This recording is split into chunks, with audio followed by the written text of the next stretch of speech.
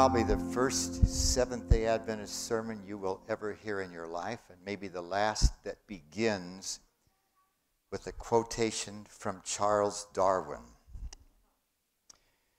The, t- the title of this presentation is The Eyes Have It. And here's what Charles Darwin, in his infamous, if you will, a work called On the Actually, On the Origin of Species is, is not the whole title, but most people use that to represent the long title. This is what he wrote To suppose that the eye, with all its inimitable contrivances, you and I don't use that word very much, do we? Inimitable means uh, unusual, remarkable, mysterious. And a contrivance is uh, some kind of a machine or some kind of a, of a, of a, of a uh, action. So the eye with all of these amazing features, he says, which include, just to name a couple, adjusting the focus. Everybody knows you're looking at a book maybe and your eyes are focusing and you look up at a mountain uh, 10 miles away and without even thinking your eye focuses there, you know about that. And everyone understands how the iris emits different amounts of light. You walk from a dark room into a light room or vice versa, and it takes a moment. Uh, but your eyes do this without you even telling them to. Here's a couple of them that he mentions that are more challenging for correcting spherical and chromatic aberration. Now, aberration means something's not right and uh, the idea that your eye is an eyeball, and it is a ball, because it's spherical, it actually causes a problem in your vision. You probably didn't know about this. Chromatic is a fancy word for color. So I'll show you what that is in just a moment. So, this idea that there are some built in problems, but the eye fixes those. Now, he goes on to say that all of this could have been formed by natural selection. Let me make sure this is clear to you. I need to spend 20 minutes on this. I'll try to do it in one minute. Everybody in this room, I think, knows that inside every cell of your body, there's one, there's one exception, there's this ladder that's twisted in opposite directions, top to bottom. Am I right? What's that called? That's the genetic material we call DNA you probably don't know, most of you wouldn't know, that the function of DNA, you know, what it does is it directs and organizes the building of proteins that your body needs. The protein you and I eat, we do not use like it is. Our bodies cut it apart into pieces. And every cell in your body makes all the proteins that you need when and where you need them. And that production of those proteins is organized and directed by the by the DNA. Are y'all with me on that? And so what he's saying here is this thing that scientists call the Darwinian function. Here's, here's what they mean by that. That uh, by accident, and this happens in all of our bodies actually thousands of times a day, by accident, one of the rungs in that ladder gets damaged. Our body actually fixes most of those, but uh, a certain number of them don't get fixed. And when one of those rungs gets damaged and it's not repaired, which happens in all of our cells every day, actually quite a few times. Some protein, then, that the DNA would direct in making is now slightly misshapen. It's not quite correct. Did you follow that? Please say yes. And these mutations, you know that word. That's, that's when the, one of the rungs gets damaged. These mutations cause all kinds of problems. The biggest issue for most people is cancer.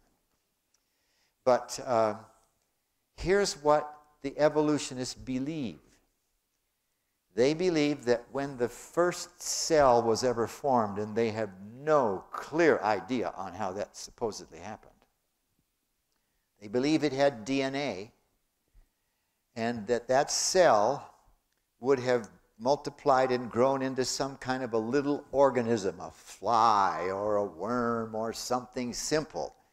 And they believe that by accident, when a mutation occurred in that one cell, because the protein it would now make was a little different, it would make the offspring of that one cell be able to live a little better than its brothers or sisters. And uh, then that one would survive where the others might not. And they actually believe this is amazing, folks. And if some of you believe this, don't misunderstand me. I respect anybody's choice to believe what they want to believe. But the idea that this could happen is ridiculously small.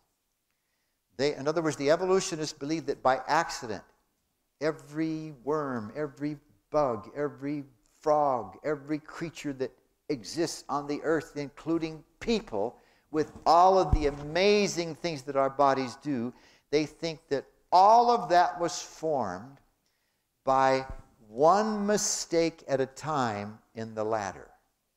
Got that? Y'all with me on this? Well, it's more than, it's, it's, it's not really faith, but I understand what you're saying. So Darwin is admitting he, he could see that what goes on uh, in people, I'll try not to get too close to anybody. He could see, uh, he thought th- that he could imagine how that could have happened by accident. By the way, when Darwin was alive, we didn't even know that there was such a thing as a molecule. There was no knowledge of such a thing as a cell.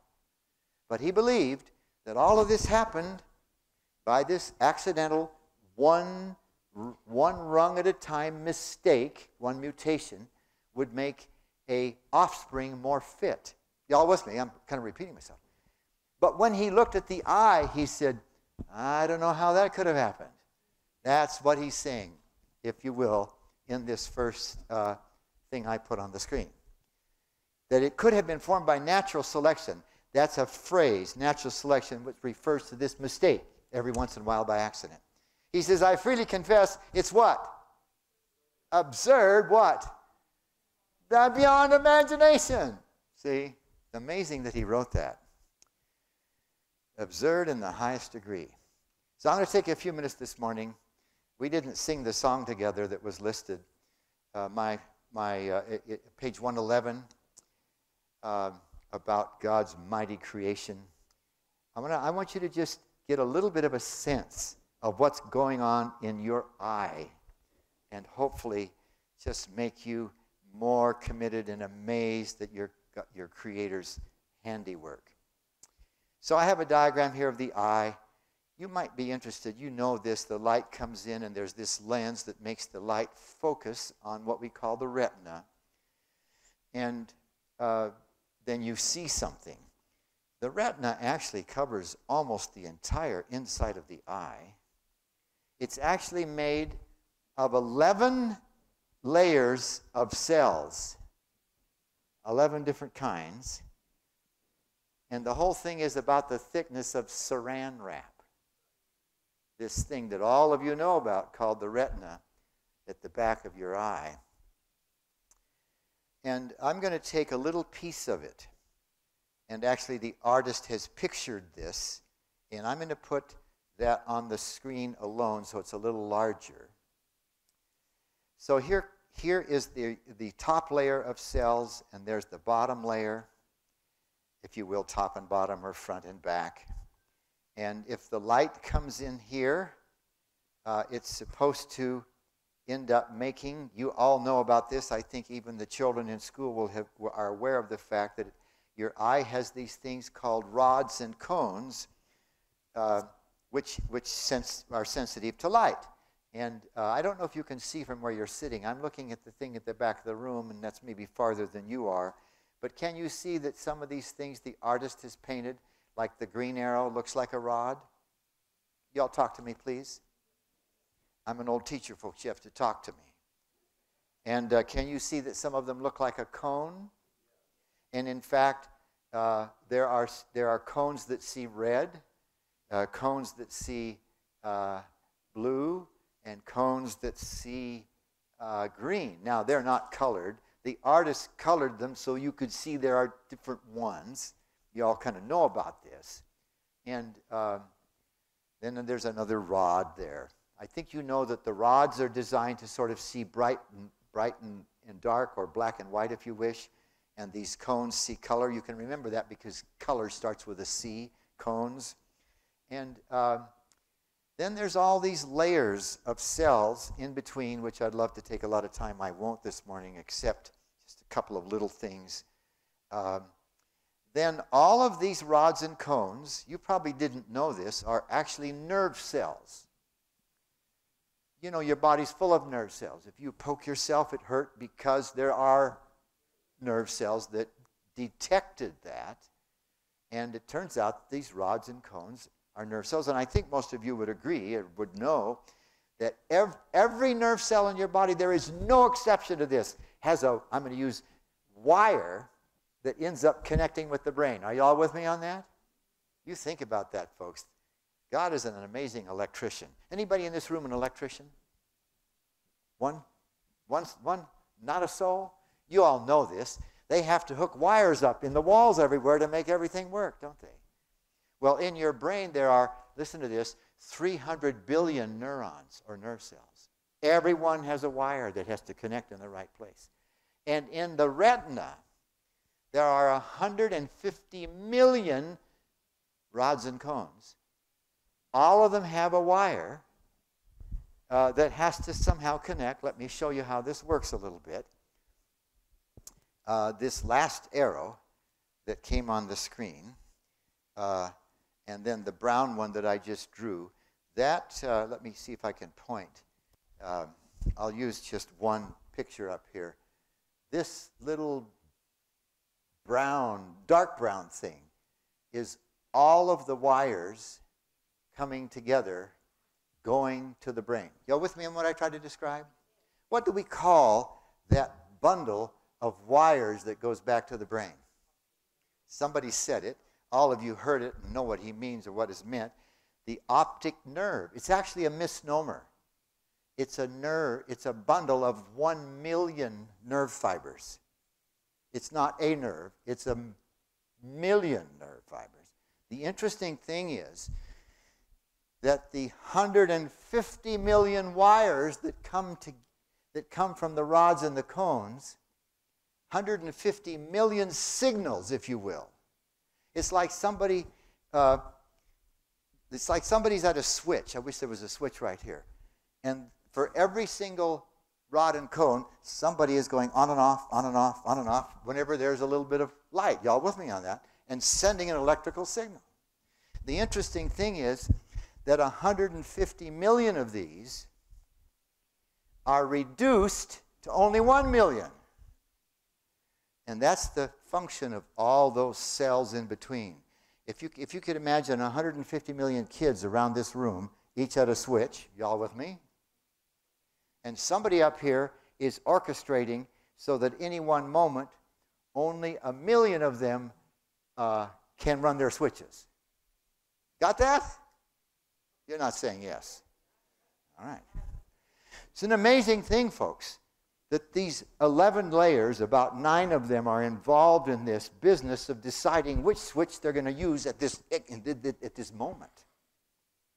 Now, most of this, Darwin had no idea. Nobody knew any of this, what I'm describing for you right now. But he still sensed that there was something awfully amazing about these things in, in your head. Um, and I'm just showing you that it was a thousand times more than he had any idea. Now, here's an interesting statement. So, here's all these rods and cones. And here's an interesting statement. Uh, there's the 150 million reduced to a million wires. I'm going to show you, I'm going to use a telescope instead of a lens. I'm going to show you what the problem is quickly that Darwin referred to. Uh, a, a it's easier to understand with a telescope than a lens, and, and, but it's the same thing. So here I think you can get the point. Uh, some light comes in from a distant star. The light hits the mirror. It's reflected back to somebody's eye looking in the telescope. Y'all with me? You got to talk to me, folks. Okay. And if somebody says no, I'll explain it again, or at least I'll try. I want you to raise your right hand and repeat after me, everybody. Here we go. I promise I'll say no if I didn't understand. This young person didn't raise his hand. I'm going to watch you now. Okay. Now, let me show you what happens if the mirror is shaped like a circle. Your eye is a ball or a sphere, and the lens is shaped like a circle because it's part of the ball.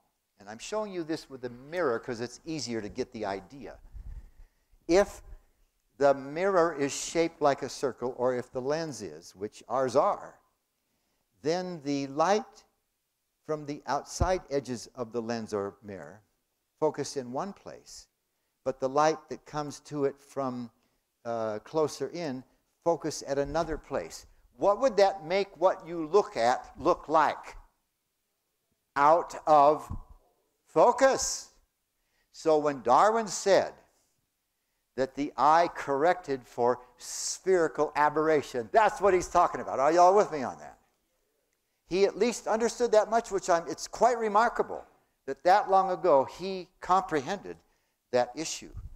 Uh, he was a good scientist, uh, not a believer, of course. So, what can you do? If you're not a believer, everything that's out there had to come into existence somehow, isn't that right? And if you're not a believer, you'll say, well, it had to happen somehow. See? So he was a good scientist. He had lots of issues, like all of us do, but uh, nevertheless. Uh, now, this, this is interesting. Every time you throw something in the air, I don't care what it is a baseball, you drop something and it flies a little bit, it follows a certain curve, a certain line that scientists have a name for. I hate to even tell you what the name is, but it's a parabola. You kind of know that word. And it happens that if you shot a baseball up in the air, it would follow this curve. Are y'all with me on this? And if turns out that a lot of things that we toss to somebody, it's just a little piece of the top of the curve, if you will. And if you make a mirror of that shape right there, then the light that hits the outside or the light that hits the I guess I should just do that picture over again. The light that comes in from the outside or the edges all focus where? Where? At the same place. Are y'all with me? Now, I'm just trying to help you see what the problem is with the circle of the, of the, of the lens.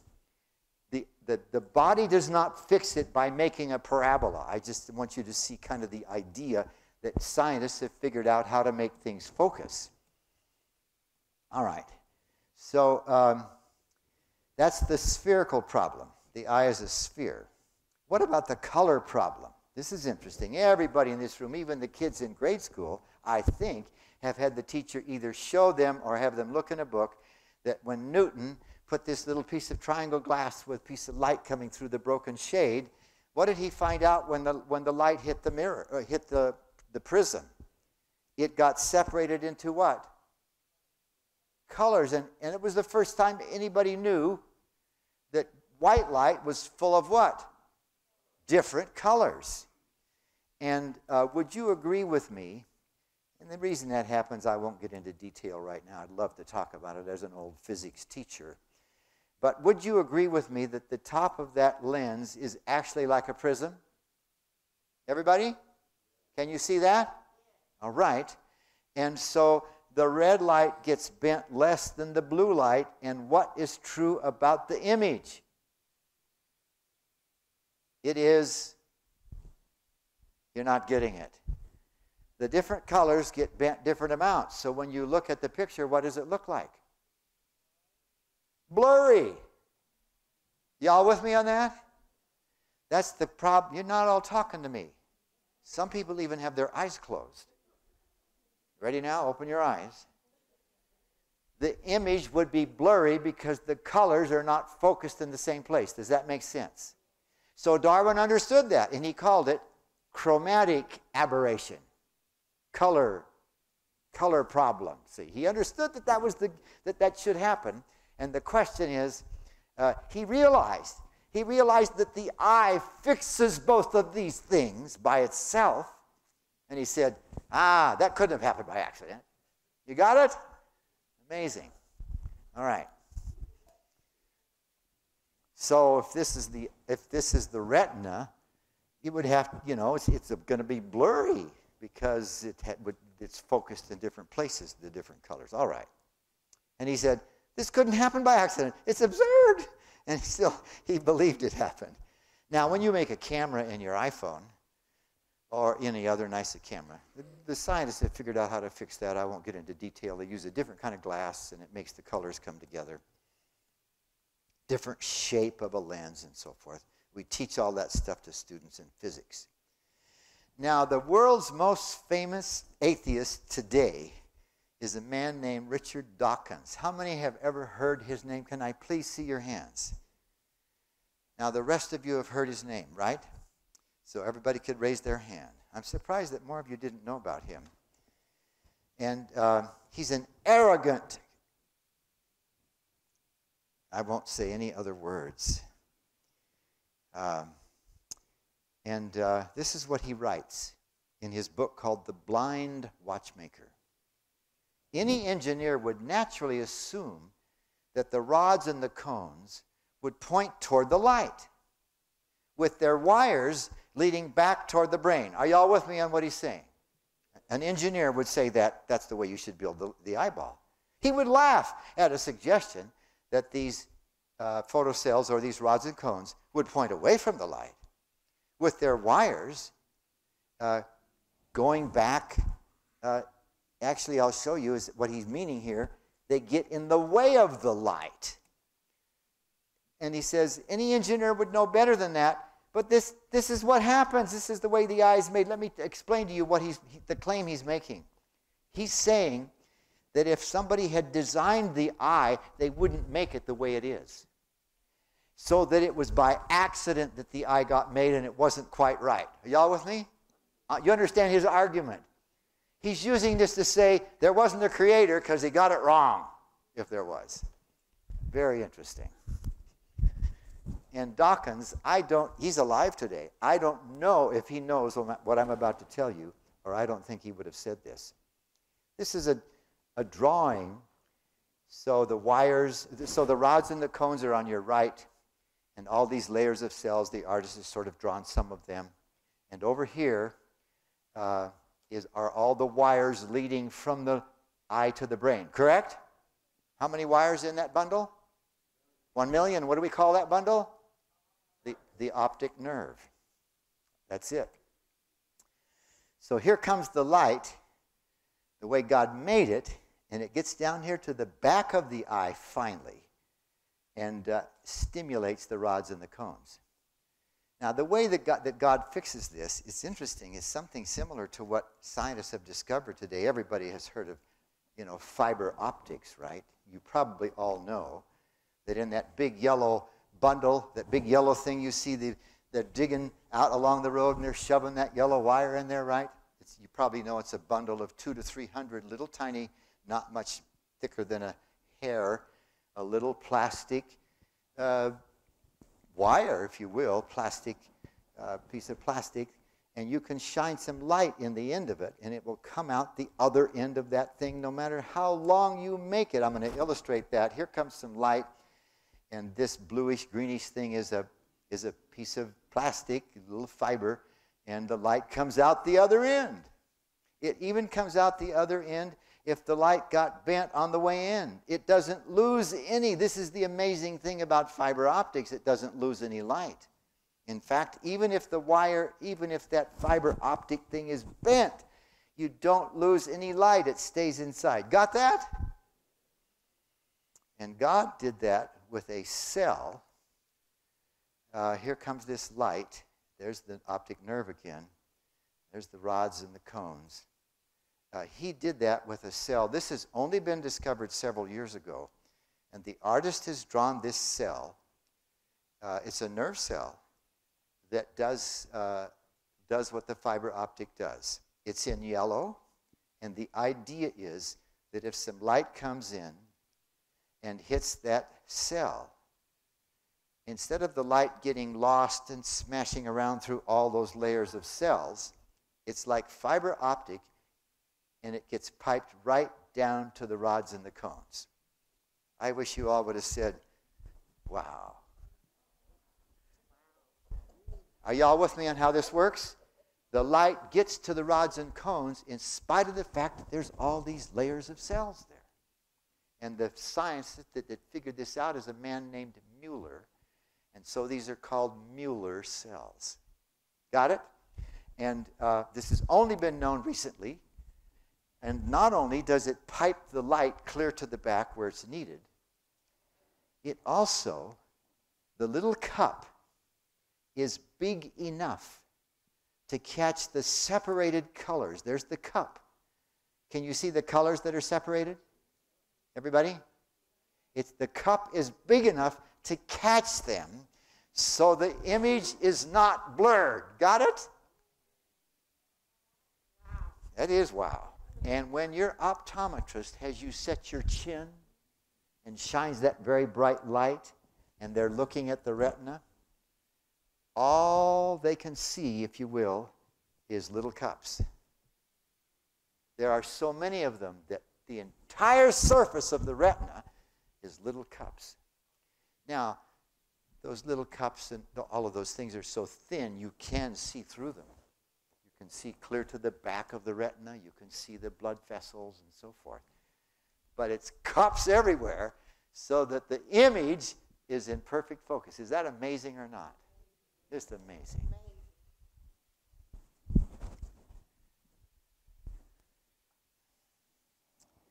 This is an actual micro photograph. Can you see that some look like a rod and some look like a cone? Can you see that? Now, let me show you something else that's amazing. This is a drawing on your left of a cone, and on your right, I'm sorry, of a rod, and on your right, the cone. I think you can see from where you're sitting. Tell me if you can. Uh, can you see that there's kind of a little stack of pancakes on both the rod and the cone? Let me tell you something very interesting. This is so fascinating, it's almost unbelievable.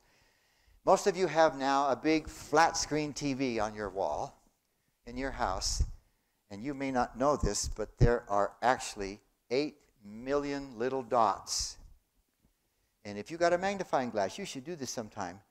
The dot actually has three little tiny parts. It can be red, green, or blue. And when you see a picture on that screen, 8 million dots had to be told what color to look like. And do you know what? That is done 30 times a second. You're watching a video 30 times a second. All 8 million dots are a different color. And so you see something that looks like it's moving, right? And uh, in the case of the eye, however, it's not 8 million, it's 150 million. Amazing. But here's the issue. What happens is, I think I have an arrow for this when a piece of light, if you will, hits that pancake, I, I hope you're with me. That pancake is at the end of the rod, which is going to get the light, correct? What happens is a chemical reaction takes place in the pancake, which sends an electric signal down the wire to the brain. Y'all with me so far? Here's what happens though. When that chemical reaction takes place, it gets it's hot. It releases some heat and pretty quick the pancake falls apart and can't do any more. No problem. There's another pancake where? Right below it. And uh, if you go outside on a really bright day, especially up where there's snow, all of you have heard about this if not experienced it, and you got, maybe you didn't wear sunglasses and you got an awful lot of light, what might happen to you when you go home that evening? What do we call it? Snow blindness. This is what happens, folks. All the pancakes got used up. Not to worry. While you're sleeping tonight, your eye makes more pancakes.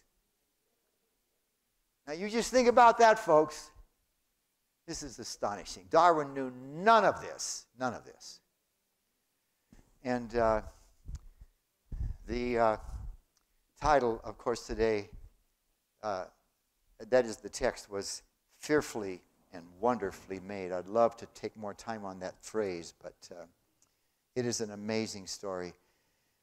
There is, if you put your hand, it's about this big right there. That's that part of your brain, we call it the occipital lobe, is where all of these wires end up hooking up. And that part of your brain makes for you what you see all day long, every day, and probably don't give a thought. Amazing story. And it's even more interesting when you think about the fact the artist is trying to illustrate that from the left eye, if you want to call it that, he's colored half the optic nerve black to show you that it goes to the same side. Whereas the other half of the optic nerve travels to the other side. Y'all with me on that? Can you all follow what I'm saying? Interestingly enough, and all of these things need a couple hours of explanation, but there is a synaptic connection twice before these signals get to the back of the brain. It is astonishing, folks, how we are created. Now, I want to tell you a story about Irwin Moon. Irwin Moon was a scientist, a believer in Christ, and had a burden to make science help people believe that they have a loving creator. And he uh, was part of the Moody Bible Institute and uh, created 18. Listen, folks, this I'm so old that back in the day when I was a teacher, we used film. You kids don't even know what film is. You old folks know what film is. You remember how you used to have to thread the film through the projector? And uh, I would show these films that, that uh, Dr. Moon made to my classes. I taught math, physics, astronomy, uh, electronics, and uh, those films were helpful in my mind in all of those uh, departments. And uh, Moody Bible Institute, they're not believers like Adventists are, but I'm telling you, folks, there's a lot of wonderful Christian people out there in all these churches. Is that right? Wonderful Christian people. And our work is to minister to them and not try to show them that they're wrong, but to try to come close to them so that when everything falls apart, and folks, I think it's awful close to falling apart right now. You think, folks, this is not in the notes today. You think about what's going on in this country. It is astonishing. The end is right upon us. And we have a work to do, folks, to gain the friendship and the confidence of these people. This afternoon at 4 o'clock, if you want to come, I'm going to talk with you about how how some of us do that, how you do that. I want to have you look at those issues with me. But in any case, uh, Irwin Moon did a lot of interesting things in, in these movies, but his whole purpose was to help people love Christ and believe in God more strongly because of the natural world. And here he is putting some uh, metal caps on his fingers, and he's standing on top of a Van generator, and he's about to turn uh, the power on, and um, suddenly uh, all this high voltage is passing through his body, and he did things like this in these films. Now, one day, uh, he had his staff build. Oh, here's the 18 films that he made. I used all of these in my classes over time. One of the ones I loved the most was something called Windows of the Soul. And in that film, he had his uh, staff make a device that put on his head, and about as long as that on both eyes was an optical device so that when he looked through them, he saw the world upside down and backwards. Got it? And his thinking was that uh, he wanted to know what would happen to the brain if the brain suddenly saw something backwards and upside down. I think all of you know that actually what you and I are looking at on the back of our eye is upside down. You know that, don't you? And somehow the brain has inverted it because everybody looks right side up to me.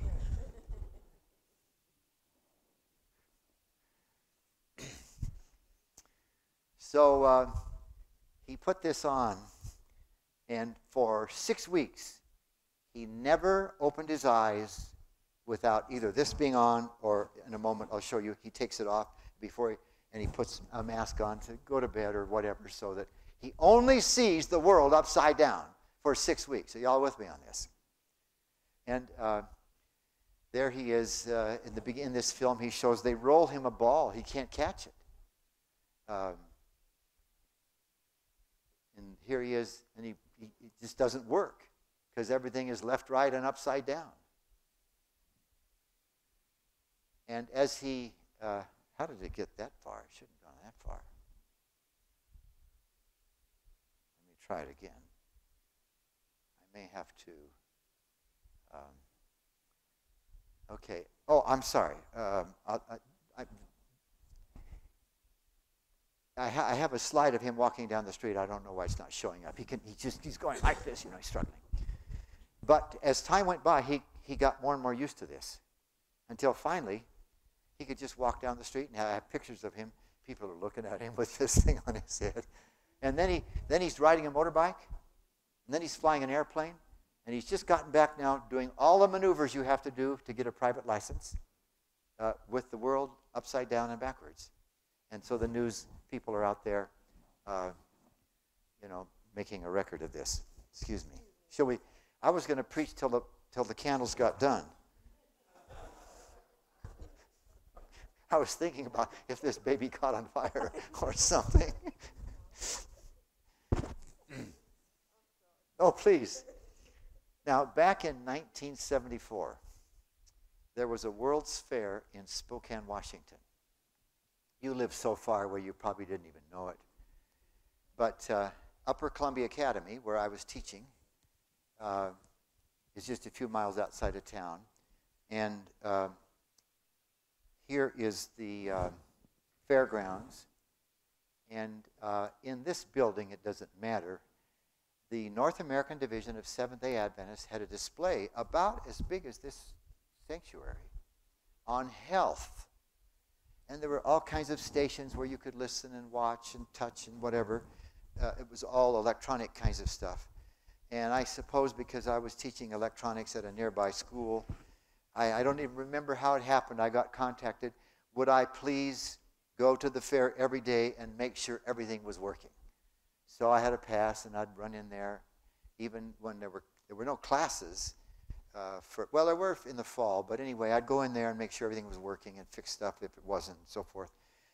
Right nearby, you could just step out the door near where, kind of at one of the doors of, of the Adventist uh, display, and you look out, I'm looking out that door. What do you see uh, written, if you can, on the wall of the, of the display next door to us? Sermons from Science. The very films that I was talking about. By the way, these are all available on YouTube. They're just still valid and fascinating, I think. How many have ever watched one of these? Can I see it? Oh, look at this about eight people. I should have the rest of you say you will go home and do it, but nevertheless. Uh, so if I had time, uh, even though I had seen these films, aren't we crazy? Did you ever watch this, another something the same again and then watch it again and so forth? I've done that. But anyway, I'd slip over there and sit down in their auditorium, and it was kind of like this. They had benches instead of seats because there would be a Moody Bible witness, witnessing person at the other end. At the end of the film, they turn to the person and say, Did you enjoy that? and try to engage them. Y'all with me on the idea? It was a soul winning work they were doing, right? So I was over there one day, uh, sitting yeah, right about there, and there was this older man. I was a young man, but there was this older man with white hair that was walking around taking pictures with his camera. And uh, I, did, I, I kind of looked at him for a bit, and it dawned on me that there was something familiar about this man. And all of a sudden it hit me. That is Dr. Irwin Moon. 15 years after he made the films, and his hair, you may not have noticed, his hair in the film was, you know, uh, brown or whatever, but now it was white. I jumped out of my seat and I ran up and I said, Dr. Moon, I'm a physics teacher in a local high school. I use your films. Could we talk? He said, Sure. We went outside, not far from where this picture is at, to the left, sat down. And the thing I want, I, I, would, I would have loved to talk to him, folks, for 24 hours. You watch some of these films that he's done, they're just fascinating. Especially the one on bees and how they signal each other. It's just astonishing. What he shows from the scientific world that there is a creator. Anyway, I wanted to know how this worked. And, and, he, I, I, and he said, Well, you know, after a while, it just became normal. And he could fly an airplane. He could ride a motorbike through a, uh, you know, some cones and so forth. And, and, and he said, you know, if I walked into a room and maybe there was a picture, two, two copies, one right side up and one upside down, I couldn't maybe know which was which, but it, it, it, was, it was working fine. And then I said to him, because the film stops, it's interesting why he stopped the film. What happened when you took them off? Now, these are his exact words. In fact, when I first sat down with him and started to speak, he thought I was going to do this to all my physics students. And he was very agitated for what he's about to tell me. He said, uh, when, that, when those were taken off, and remember, he had not used his eyes for six weeks except to look through those, correct? When he took them off, these are his exact words, I'll never forget them. He said, in 30 seconds, I was a blithering idiot.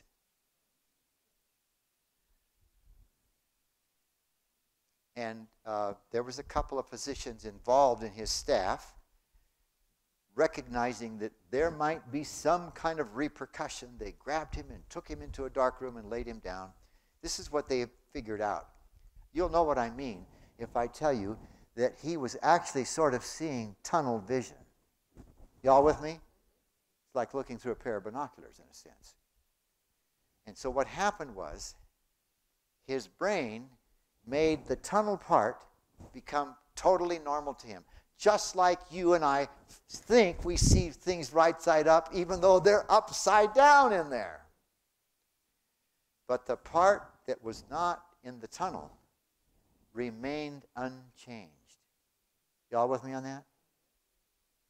So suddenly now he saw both of them and it drove him. Did you ever use the did you ever use the phrase you're driving me crazy well it did drive him crazy. But he doesn't say anything about that on the film. And so the chance for me to talk with him was just really precious. And he said it took him about six weeks. They had him in that dark room. Every day they would raise the light in the room just a smidgen and got him finally recovered. But the amazing thing, folks, is his brain made it work. Uh, now, let me close with a story that I think you'll find fascinating. Everyone in this room, parents particularly, are totally aware of the interesting pathway for a newborn baby to finally be able to speak. Correct? Uh, I, I could I bet every parent in this room remembers. I don't remember it for the second child and on. We only have two. I remember it for the first. I remember the very first sentence she ever made. Do you all remember that about your children? Of course you do. And uh, it, it, it, it, they almost have to be a year old before they can even start using words like mommy and daddy, don't they? It, it, it takes time learn to talk. Y'all with me on this? And by the way, that's a field which scientists are totally unable to penetrate. They have no clue. And see all the other animals on the face of the earth. You and I are animals. In fact, we're unclean animals. Did you know that?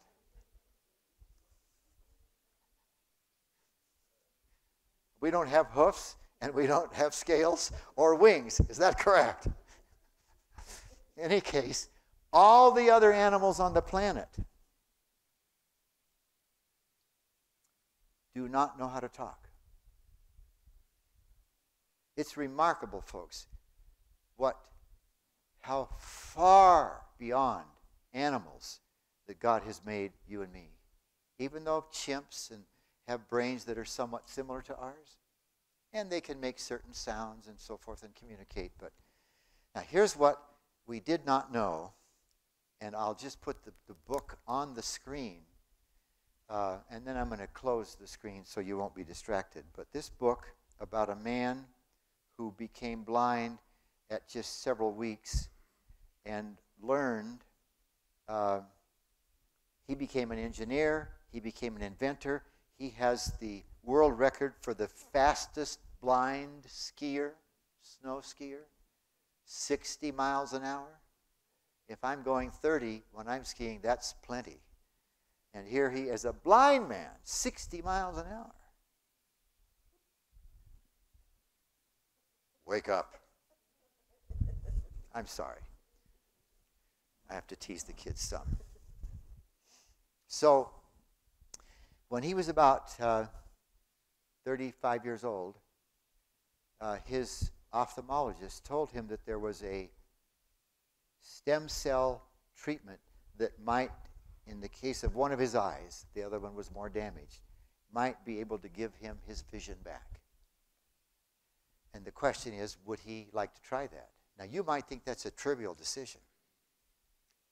But after 35 years of being blind, you, you, you, you ponder this. It was not a trivial decision. Y'all with me on this? So you got to read the book. But let me tell you what we learned from that one case, and scientists have now explored this in more detail. Not only do children have to learn how to talk, this might surprise you, they have to learn how to see. You ever thought of that? When you have that little baby in your arms, uh, have you ever noticed its eyes just kind of wander around? And you're looking at the child's eyes, and what would you like the child to do? Make contact or focus, if you will, right? Child has not learned how to do that. And uh, we now know, this is amazing, folks, that there is a process in the brain where we think it's several trillion connections have to be cut off and other connections have to be formed in the process of the child learning to see. It's not that it's black, but the child can, inter- can interpret what it's seeing. So the day comes, maybe about six weeks, little baby's in your arms, and its eyes fasten on you, and what does the baby do?